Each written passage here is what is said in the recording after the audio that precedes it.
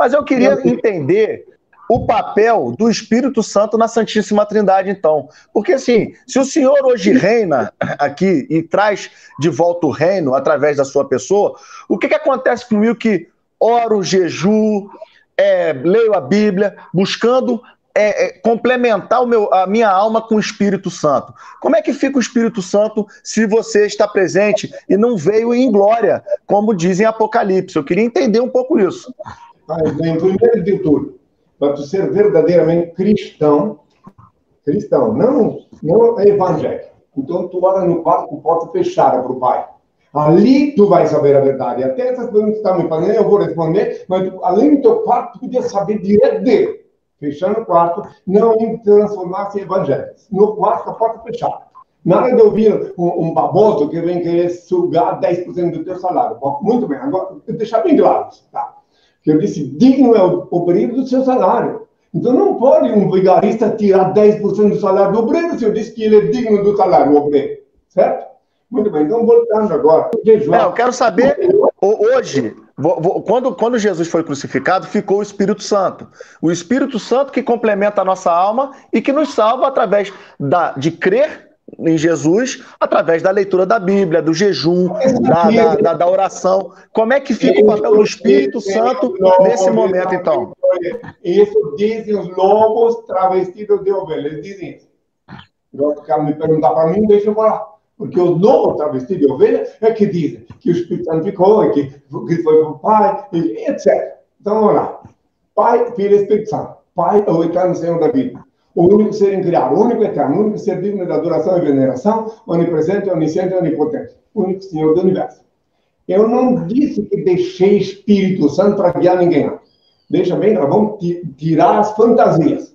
Eu disse que fui para o Pai, que depois, na minha ausência, na minha ausência, o que pedisse em meu nome seria atendido. Na minha ausência, agora eu estou de volta aqui, por isso que meu pai disse Jesus se tornou um nome obsoleto, que tem até cachorro com o nome de Jesus agora, tá? Vou deixar bem claro que Inri é o nome que eu paguei com meu sangue na cruz. Muito bem. Agora, quanto ao Espírito Santo, é o Espírito Pai, Filho Espírito Santo, para quem quiser raciocinar.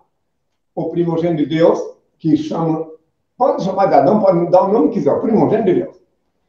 A companheira dele, que não reencarna mais, então se convencionou chamar de Espírito Santo. Pai, Filho, Filho sou eu. Pai é Deus, o Criador Supremo, onipresente.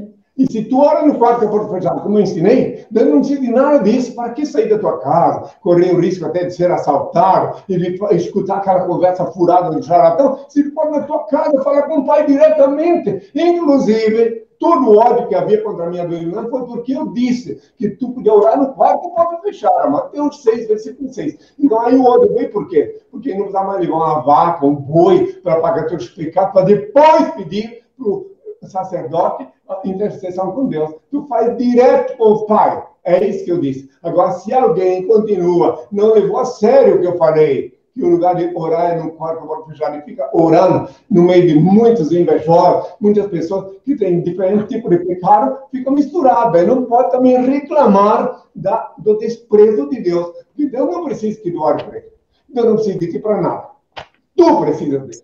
Tu precisa invocar ele, tu precisa se sentir protegido. Tu sai de casa, se tu invoca o pai antes de sair de casa, tu vai sair sem medo. Não tem bala perdida, não tem nada. Tu está protegido. Agora, se tu sai de casa, sem invocar ele lá no teu quarto, posso puxar como eu falei, eu sei que vocês fazem isso sem invocar ele, aí vai para tua conta risco. Leia o livro Despertador Explosivo, volumes 1 e 2. Conheça a história real e os transcendentais ensinamentos de Henrique Cristo. Este livro desperta as consciências, explode as viseiras e os dogmáticos cadeados do raciocínio. Ele é um mudo que fala um cego que guia, um surdo que responde, um morto que vive e ensina a viver. O livro Despertador Explosivo é a chave do reino de Deus.